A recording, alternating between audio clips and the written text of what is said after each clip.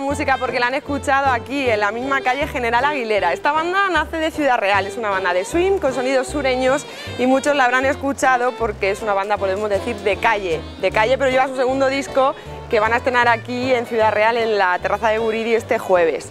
Diego, eh, está aquí la banda al completo, ¿no? Diego, David, Orión, Felipe, eh, quiero que me contéis qué tenemos este jueves en Guridi. Pues este jueves, bueno, llevamos el trabajo de todo, de todo este año, que hasta ahora llevamos haciendo, hemos ido reciclando canciones, canciones antiguas de años 20, años 30, incluso alguna posterior que hemos arreglado, pero bueno, la verdad es que pensamos que nos apetecía hacer algo nuestro, un poco en ese estilo. Entonces lo que hemos grabado en este segundo disco y lo que vamos a presentar este jueves son un poco esas canciones, eh, aprovechando también algunas que teníamos anteriores, pues bueno, no es posible hacer un repertorio de 15 canciones nuevos en, un año, claro, quizá en tan poco tiempo. Entonces, bueno, vamos a presentar unos temas nuevos, los mezclamos con algunos anteriores y algunos que hemos reciclado también y esperamos que con eso se, se, quede un concierto apañado por lo menos. Seguro, y además que aprovechamos para invitar a todos los ciudadanos y los que vengan. El jueves allí nos vemos todos. A las 10. A las 10 en el Guridi. Y vamos a conocer el disco que se llama Mustache. Mustache, sí. ¿Y eso por qué? El, a ver, el, tema de los nombres, tanto de las canciones como de los discos, como el nombre del grupo, no es, no es muy... No somos muy dados a encontrar los nombres perfectos. Entonces lo de Mustache es porque hay una canción nueva que hicimos que se llama Que no me toques el bigote. Igual, siempre lo digo, los motivos y las razones de los nombres de las canciones no tienen sentido ninguno, ¿sabes? Sin embargo, las canciones cuando las hago, primero hago la música y luego, digamos que me separo de ella, veo lo que me sugiere y en ese caso cuando la hice se me vino a la cabeza esa frase. Entonces vi que era un buen nombre para un disco, pero como no le iba a poner que no me toques el bigote, Cogí solo la parte del bigote y, claro, le cambié el idioma que siempre mola más y... ¡Qué tontería de verdad! bueno, tenemos aquí a David, que creo que todo se ha grabado en, unos estudios que tú tienes. A ver, te paro el micro. Eh, ¿Cómo ha ido esa grabación? Pues muy bien, porque con este grupo como un poco para preservar ese estilo callejero y tal, eh, grabamos todos a la vez Además que no podríamos hacerlo de otra forma, porque como las canciones tienen principio y tienen final, pero lo que pasa en medio nunca se sabe. Es un poco improvisado. Entonces eh, nos ponemos a tocar todos a la vez, colocamos los micros y tal, grabamos todos a la vez y entonces la grabación es súper rápida, súper... Y, y, además que mm, mm, es mejor para uno mismo estar tocando con, toda la banda que estar tocando tú solo como se hace en otros estilos. O sea, que es como una especie de, en vivo, ¿no? Eh, como en directo, de alguna manera. Claro, es como si fuera un concierto, pero ahí en el estudio. Entonces hace la canción de arriba abajo hasta que sale bien. O sea, eso no claro. cuánto tarda. y no, no mucho, porque como son canciones que las venimos rodando todo el año y tal, pues normalmente salen bastante. Hay algunas que incluso está grabada la primera. O sea que la grabación muy bien, muy, muy amena. O sea que nos gusta el resultado. Sí, sí, sí, claro. bueno, Felipe, yo quiero que me digas eh, que he leído alguna declaración tuya que es un sonido dinámico que a quien vaya a este concierto de, alguna manera se le van a mover los pies. Podemos decir. Sí, sí, eso está claro. El, estilo ya de por sí eh, invita a eso, a moverse, a, levantarse del, asiento. Y luego encima, bueno, pues le damos un poco ese... Diego se encarga de movilizar a la gente también. sí, ¿no? O sea, unimos eso, la música y luego pues eso, la, la, parafernalia, la puesta en escena, que también yo creo que es un poco, es muy animada, entonces yo creo que... Que, nos va a sorprender.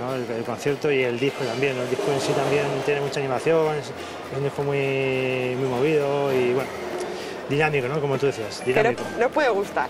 Sí, seguro, está claro.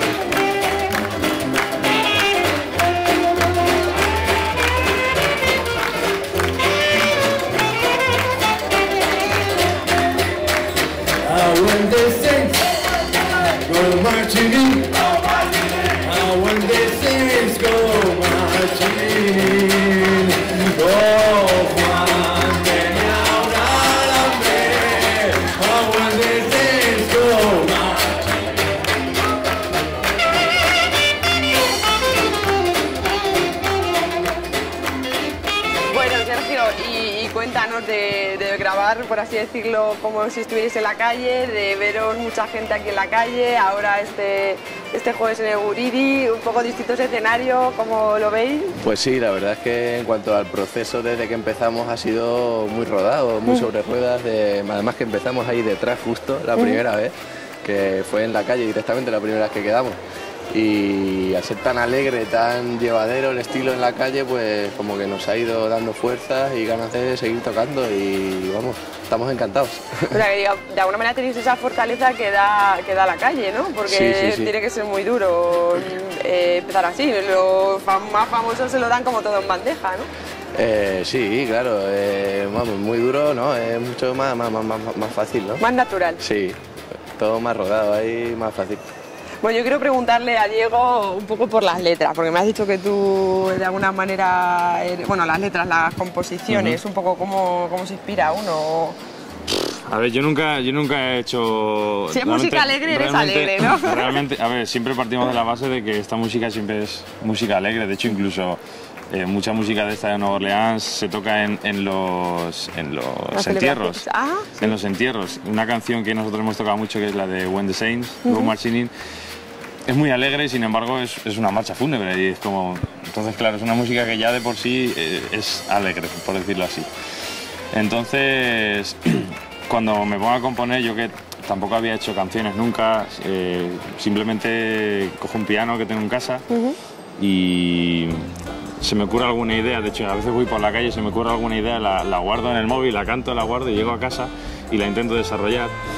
Eh, le, hago, bueno, le hago algunos giros armónicos típicos de, de ese estilo, luego algunas cosas también rítmicas, melódicas y cuando creo que ya he llegado a ese punto hago lo de la miro desde fuera, veo que se puede cambiar. Cuando ya me gusta, digo, vale, se queda así. Pienso un nombre que normalmente es malo, es malo.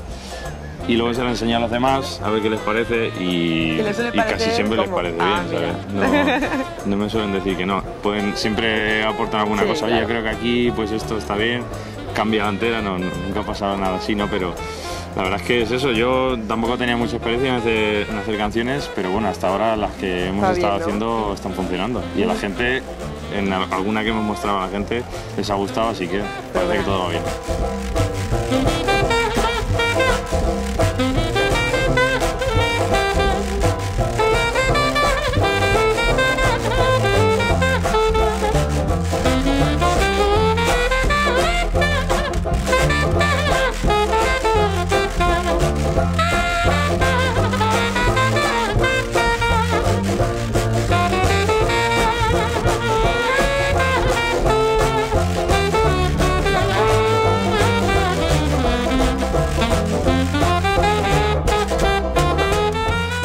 Y luego decir que como ahora quizás se está poniendo más en, en actualidad eh, a través del crowdfunding, ¿no? Porque no tenemos mucho dinero Eso es. ninguno. Digamos y- que el otro, el disco anterior del año pasado, lo financiamos todos nosotros y es verdad que, que de primera supone un gasto grande. Tuvimos que poner dinero un poco entre todos, bueno, casi todo lo, lo pagó él, que teníamos algunos ahorros más. Pobre, lo pagó él, entonces luego lo que pasa es que eh, en los conciertos, lo que vas sacando, venta de discos, es con lo que vas recobrando todo eso. Entonces, claro, este año eh, como llevamos todo este año que parece que todo ha ido bien, queríamos hacer algo un poco más grande, un poco más elaborado, tiene más canciones el disco, eh, queríamos hacer un poco más grande, entonces claro, eso implica más gastos también y eran gastos que quizás sí de primeras no podíamos asumir De golpe, ¿no? eh, en plan, entonces, claro, pensamos en la ayuda del, del crowdfunding porque, bueno, tenemos conocidos que lo han hecho, le- les ha ido muy bien, entonces quisimos probar. Y muy bien. No, no pedíamos una cantidad muy grande porque, mira, preferíamos tener algo a quedarnos sin nada.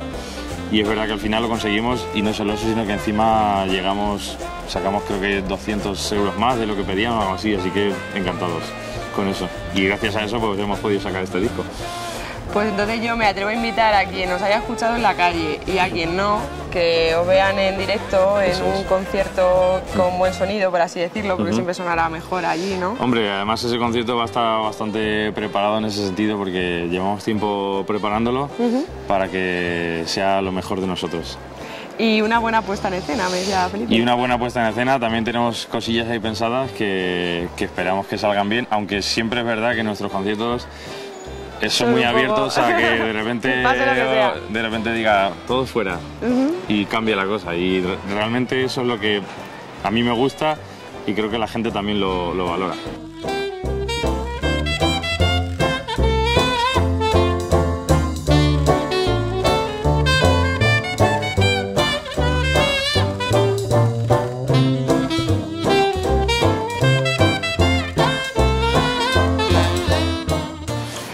Nada chicos, mucha suerte con este disco y nos vemos el Eso, jueves. el jueves en la terraza, en la terraza del Gurí de allí en el Parque del Pilar.